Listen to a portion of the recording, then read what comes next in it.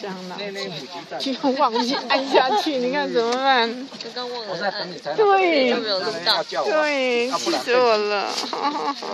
我想说，往下走，我以为按那一颗红。对，我没有按到。我有说过我不讲的。讨厌。哎。等会儿啊，把爷爷来找。这个是木棉科的植物，老师刚刚说了，我忘了按下去。那漂亮，不好意思，哎呦。要不我打？要不我打？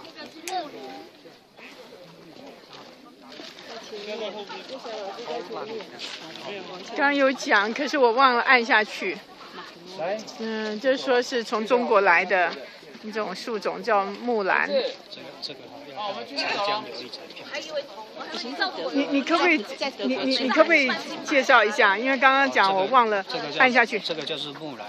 啊哈。对木兰，或者是我们一般来讲，有一些人讲的叫心叫心那个心仪。心仪的话，但是心仪一般来讲大概是那个紫红色的啊，它大概就是这一个，它是木兰科的。木兰科。嗯。老师说这个是什么什么？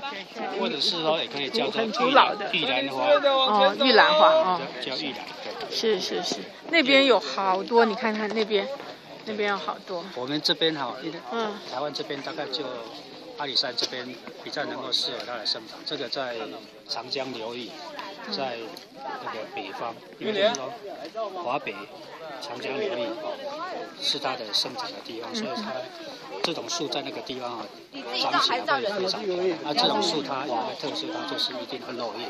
哦，一定会落叶。所以说，你在平地种的话哈，嗯，这个就不会很漂亮。哦，我在平地种就不会很漂亮。因为它这个要落叶才会漂亮。哦。就像那个烟花一样。樱花也要落叶，山樱花，山樱花就要叶子全部落光才会漂亮。对，这个因为实在是照不到，我看看我这样可以照得到吗？因为它有点反光，因为像木棉花哎，我觉得，是不是？这是我出来照相最多的一啊，是不是有点像木棉花？这个跟木棉花有什么不一样？哦，不一样啊，因为它它它这个科不一样，这个是这个是木兰科的。我要去找一棵我可以我可以照得到的，因为它这平行可以照得到的。嗯，这棵应该该很长。其实刚刚可以从这边来。啊？这边好，这边逆光。嗯。啊，这边从这个角度这样。对对对。光线这样，这样才能漂亮。啊，这样。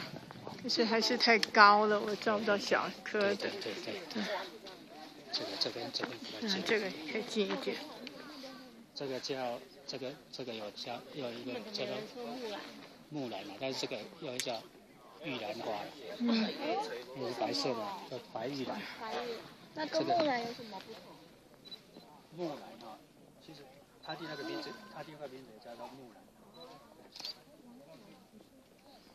嗯，没办法了。杨玉兰。对对对。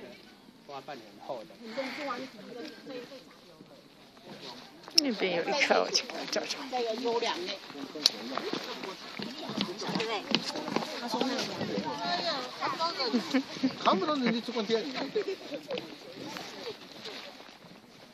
这边有。